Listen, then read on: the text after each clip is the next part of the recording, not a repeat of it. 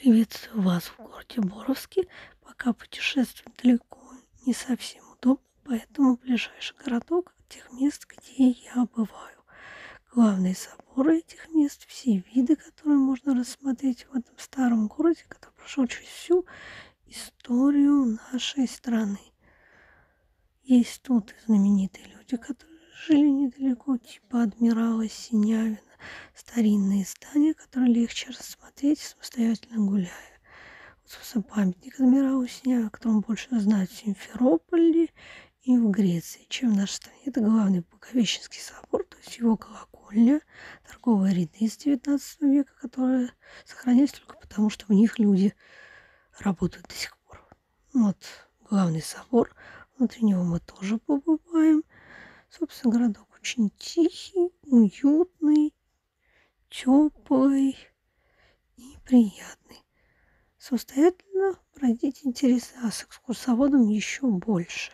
Здесь жила и боярыня Морозова, а также он связан с старообрядцами, собственно, с ней самой, и с космосом в виде Федорова, космиста, и далее уже самого Циолковского, который разрабатывал ракеты. Бывал Солженицын. Спасибо вам за внимание.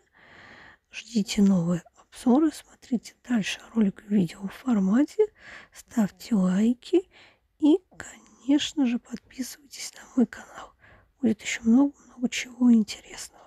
Пока... А, да, не пойдет, конечно, без памятника Ленину, который тут сохранился. Всем пока. Ждите новые работы. Да, городок построен это было городище. А сейчас здесь находится администрация и острог. Тут будут такие виды сверху. Вы встретите. Построен он, ну, то есть признан существующим в 1358 год. Но люди тут, конечно, жили немного раньше.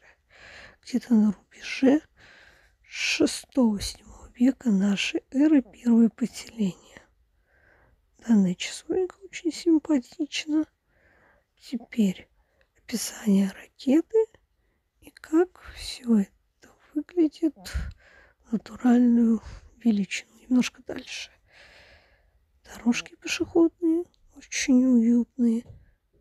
Памятник Победе, то, что я уже снимала сама. Там вокруг расположена еще и техника именно тех людей, кто погиб. Все. Всем Приятного просмотра.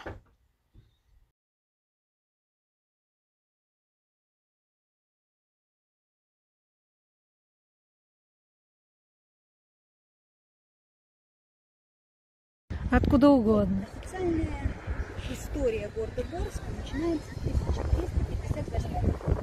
Именно в этом году Николаевич он сыграл в его судьбе значительную роль.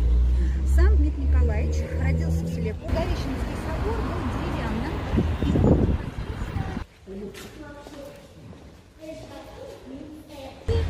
он не такой был макет у нас, никакой промышленности, которая не портила.